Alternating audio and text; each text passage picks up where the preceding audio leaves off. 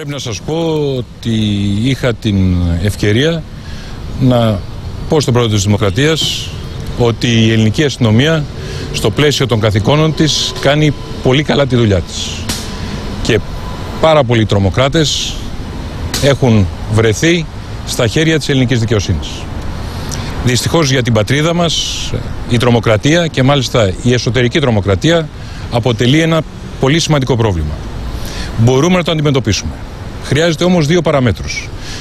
Το πρώτο είναι η απόλυτη στήριξη της ελληνικής κοινωνίας χωρίς υποσημειώσεις, χωρίς παρενθέσεις και το δεύτερο είναι η εκτέλεση από όλους τους πολιτιακούς παράγοντες του θεσμικού τους ρόλου. Ελπίζω ότι θα τα καταφέρουμε. Σας ευχαριστώ πολύ. Κύριε Υπουργέ, δεν θα έπρεπε να παρακολουθείτε ο ξηρός ενώ ήταν σε άδεια. θα, μου, θα, μου, θα, θα μου επιτρέψετε να μην σας κάνω δήλωση γι' αυτό. Εάν όμως θέλετε, εν πάση περιπτώσει για μισό λεπτό, να σας πω το εξής. Τους όρους αποφυλάκησης ή άδεια τους προβλέπει ο νόμος.